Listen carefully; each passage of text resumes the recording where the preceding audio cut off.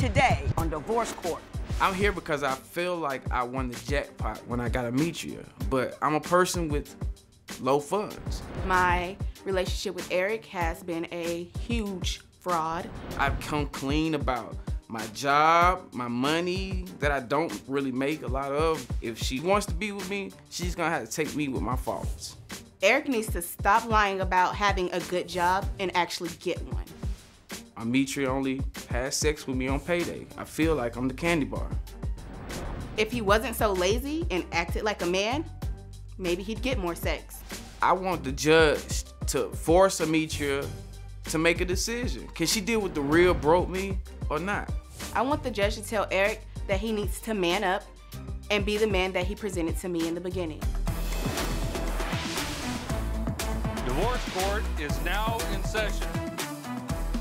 Good day, ladies and gentlemen. I'm here with Armetria Coasey and Eric Keeton. The two of you have been together for two and a half years. This is one of my favorite things. It's a before your vows. You two love each other, but you're not quite sure whether or not marriage is, is for you. So you've come here for my opinion. You have filled out my compatibility test and uh, given me your license with permission to tear it up. Should I think it, your union is ill-advised? Ms. Coasey, I'm going to start with you. Why don't you tell me a little bit about your relationship and why you love him, but you're not quite sure this is the right thing to do. All right, Honor. I met Eric in a lounge about two and a half years ago. When I met him, he was jaw dropping, took my breath away. He was just the right amount of chocolate, as you can see, mm -hmm. just how I like it. he was dressed in designer from head to toe, looking real good. And he had a nice car, and on top of that, the conversation was just endless. So we start to date. He's taking me to five-star restaurants. He took me horseback riding. I would come over. He has rose petals laid out, candles lit, bubble bath. I mean, the whole, the whole nine. Everything a woman could ask for, right? Right. Massaging my feet. I'm loving it. I'm falling. So your um, dating game is strong. Pretty much very, so. Very strong. Very strong. I'm a gentleman. I'm from the South. Okay. So when did the the petals fall off the rose? Not long after. He's giving me all his time and attention. I was loving it. But you could say he could have won Flexer of the Year because he was just a huge fraud from what I. In what way was he a fraud? He calls me one day, and I hadn't heard from him this particular day, all day. He calls me and says, Babe, I'm in jail. And so I'm devastated. I'm shocked. I don't really know what to do. I've never mm-hmm. even dealt with a situation like that. He says, I know we only been together for a couple of months. You can pull out if you want. I understand. But, you know, I'm like, well, you've been such an amazing man to me. You know, I'm down for you. Did you I'm ask here. him what he was in jail for? that to me would be the first question. I mean, well, what they was, got you everything for? was just so sudden. You know what I'm saying? And I just wanted to him to know I got your I got your back. I'm here to support you. Yeah, but what you. if he, we, you know, like, you know, I'm a serial killer, you know? Shouldn't you know what's it up? It should have been one of the first questions on the list, I will say, but it wasn't. You ask what the charges are, but go ahead. so I, I say, what do you need me to do? So boom, he gets right to it. I need you to put the money on the books. Do this, do that. I'm taking care of, you know, I'm taking care of it. And then this is when I found out more about Eric. Such as? um, I learned that he had lied about his age. He told me that he was 26. He was actually 31. All righty. On top of that, he told me that he was a businessman, a mm-hmm. professional businessman, but he actually worked part-time at Walmart. Okay. Anything else? Everything else was according to Hoyle? Everything was cool? Well, that's what I had to ask. I was like, you know what? It's a lot to take in at one time. Are you sure you got everything out? Is there any more surprises? Did you find about any other lies? I did. Like what? Well, we're going to jump into um, I was in the area one day. He's still in jail um, for about a week or so. And I decide, hmm, I'll just stop by, make sure his car is intact, his home is okay. Mm-hmm. So I walk up the steps, go to the door. I can hear that the TV's on. So I knock on the door, but no one comes to the door. But I hear a dog barking. Mm-hmm. And from my recollection, I don't remember okay, Eric let, having let's a dog. speed this up a little bit. There, he had someone staying in his house. Okay. So I'm waiting for him to call. I finally talked to him that day. Hmm, Eric, I stopped by, you know, just to make sure everything was good. Who's staying at your house? And he's, he tells me it's his sister. But we've been together for a couple of months. I haven't heard about a sister. So who was she? It was an ex. Okay. Is any or all of that true? Uh, for the most part, what she just said was partly true. I Partly mean, true. Okay. Okay, with the age thing, I was 30. I wasn't 31. But you did say you were 26. Yes. Okay. So what else wasn't quite what it appeared to be? That that ex that was actually staying there, that Yeah. wasn't staying there. So I mean, that was You were with the ex? not physically. Uh-huh. Okay. What else did you did, did you tell her you were a businessman? In fact, you were not? I mean, I work at a business, so I mm. mean, I am a bit. I, I'm a man. I'm a businessman. It kind of goes together, right? So am I lying? Uh-huh. No, I don't think so. I'm a uh-huh. businessman. Okay. What do you want to say that about what she said that's not quite sh- what she represented? What's your point of view on all of this? Because to me, it looks like you lied about a lot of stuff, I, and I that did. you were putting on a front. I did, but that's my past, and I, I'm not a liar anymore. Mm-hmm. so once you were, do you believe that you were forced to come clean? I, I was forced to come clean, but I mean, it, it was something that I wanted to actually do. For a long, I wanted to do that for a long time. So, but I was actually forced to come clean because Right. she, she actually did find someone at my place. So mm-hmm. that's when I had to actually tell the truth and be honest. I'm going to ask you a question, and I, I'm- I want you to take a minute to think about it once I ask it. You find out within three, four months he's lied about who he is, how old he is, what he does, his relational situation with another woman, and you stayed. I want to understand what it was you were thinking and why it didn't lead you to leave at that juncture. Go through the phone, messages on messages from multiple women from the time I go to work to the time that I get home. All kinds of stuff. You should come over and cook me breakfast. Oh, you should just come over and cuddle for a while.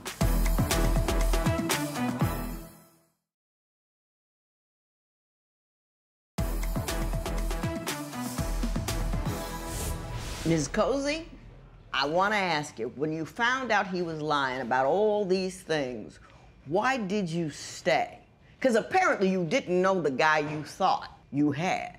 That's true. But he had grown on me so much. I mean, he was treating me to some very nice things, just showing me something different that I hadn't experienced. And Treating you to nice things, such as. like I said, the five star restaurants, just showering with me, just making me a top priority. Like he was going the extra mile. Things. But you know, all that was a fraud, right? Because if, if you're working part time retail like that, you can't afford whatever. What, I mean, was he was he driving you in limos? Was he Oh, he had his own really nice car. I mean, oh, but that was a rental. So See what I'm saying? Everything you liked about him was not true. but he had grown on me, so I just I just thought it What did It you could be- like about him that was real? he You gotta look good. at me to do that. I mean, uh, Judge. she- Yes. she's i mean I, I was a fraud that's in the past but we're living in the now right now Uh-huh. and if i'm a fraud i think she's a fraud i mean Explain that. Go ahead. look at her hair It's not her. it's not her What you're saying. that's what i'm saying so she's representing with a facade Right. as you were. i mean it, it gotta be even you know what i'm saying like if i like you're saying i'm a fraud i think you're a fraud too but i because my hair looks nice. i mean it's, it's not your hair though Mr. Keeton, you say that you believe that she's hiding you from her family. Why do you believe that? I believe that she's hiding me from my family because I haven't seen her family. I haven't met her mom. How long you been together? Two and a half years. Ms. Coasey, have you not introduced him to any members of your family within two and a half years? No, I have not. And and and why is that? I would come home from work. I'm getting up every day, going to work, coming home. The house is a mess, dishes piled up. I'm wondering what's Eric's doing all day. What are you doing all day that the house is in shambles? You don't go to work every day. You only work part time. So what is it that you're doing? So one day I come home, his phone's laying around. So hmm, maybe I should just take a look, see what Eric's doing all day. Go through the phone, messages on messages from multiple women from the time I go to work to the time that I get home, all kinds of stuff. Oh, you should come over and cook me breakfast. Oh, you should just come over and cuddle for a while. All, there's all sorts of stuff. I got you. I got you, Mr. Keeton. I'm gonna give you an opportunity to respond. Is that ac- an accurate recitation of what what was actually on your phone, or do you believe that just didn't happen, or she misunderstood? Can I plead the fifth? You, you may certainly plead the fifth. You may certainly plead the fifth. Since we're talking about parental figures, I do have a message from your mother about what she thinks of this relationship.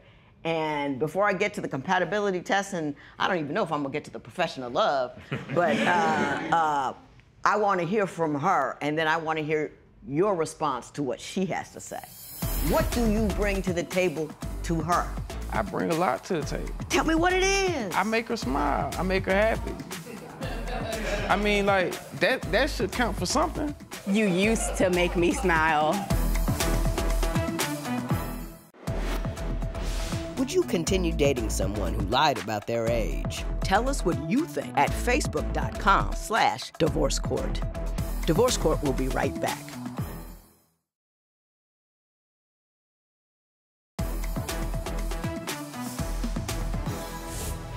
So, Ms. Coasey, the mother that you won't introduce him to has something she would like to say about uh, the, the possibility of your impending nuptials.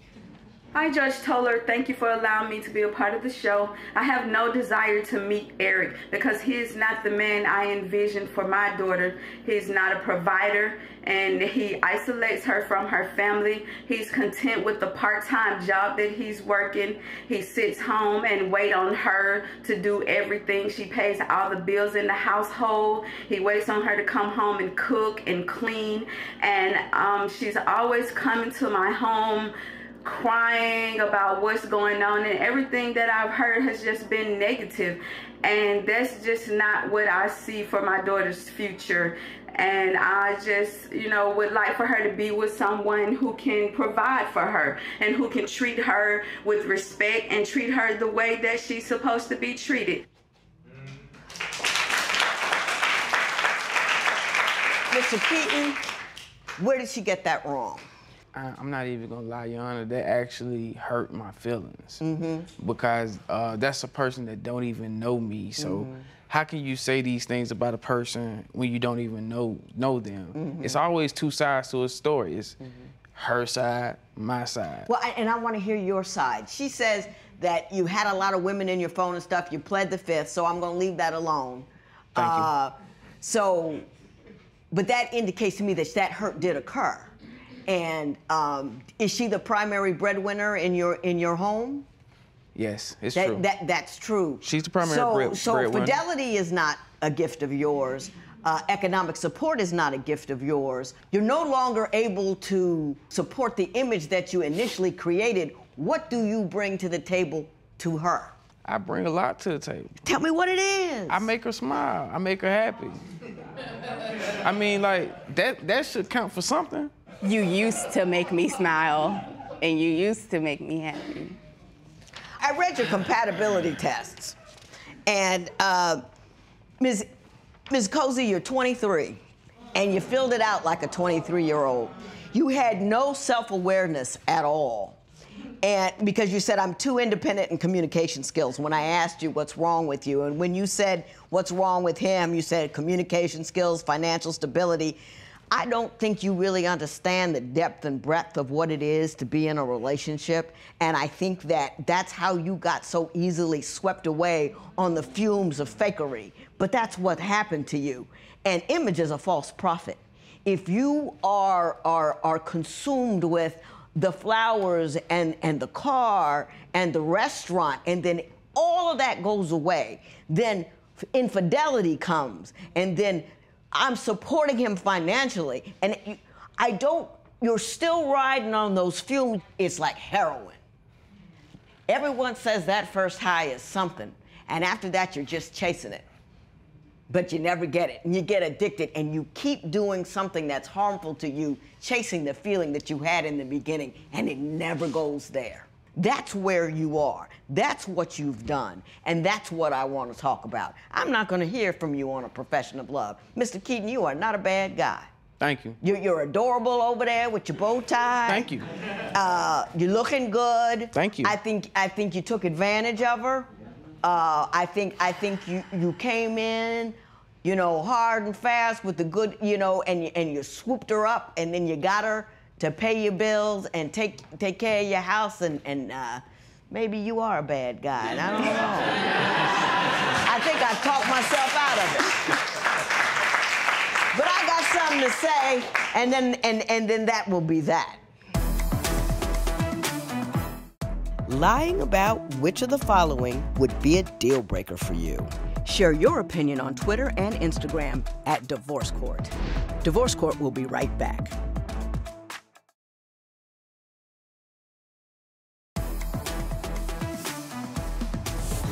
Ms. Coasey, uh, Mr. Keeton. Yes. Mr. Keeton, I'm going to ask you to be a better person. I need you to be embarrassed that you're a 33 year old man living off a 23 year old girl. I ask you not to do as much as you can get away with, but do as little to a woman as you would want some man to do to a daughter of yours. Um, I think that her mother called it on the money. You hooked her, and um, she's stuck, and you're you've kicked back because you've got her. And I hope you feel a little small about that because I think it was a small thing for you to do. Ms. Coasey, you need to listen to your mother. She's been out there for a minute and she knows what's what and who's who. And what I'm telling you is you have no reason to continue to be with this guy because all of the reasons that you wanted to be him with him in the beginning are not real. I don't know what happens with women. We, we get a hold of any piece of a guy. You don't like anything about him. He's not doing anything for you. He's crushing your soul with what he does with other women. He's not supporting you. He's not who he pretended to be. But you yet you still want to maintain that relationship. You are 23. There are a whole lot of idiots between you and forever after.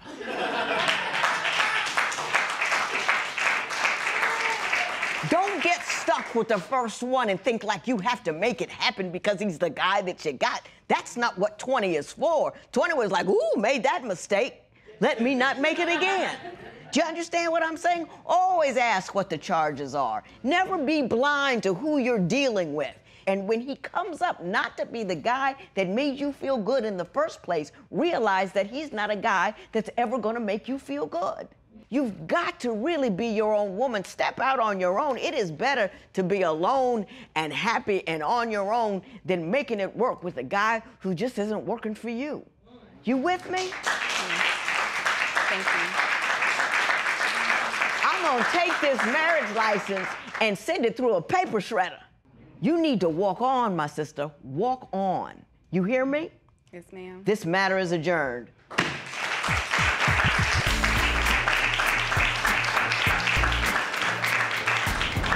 One of the greatest lessons that I've learned from this experience is to just, when someone shows you who they really are, believe them. Don't ignore the signs and the red flags. You just think with your head not your heart. I'm speechless that she actually want to move on because I thought coming out here would actually get us in a better place. I guess it actually hasn't, and I hope that she changes her mind in the future.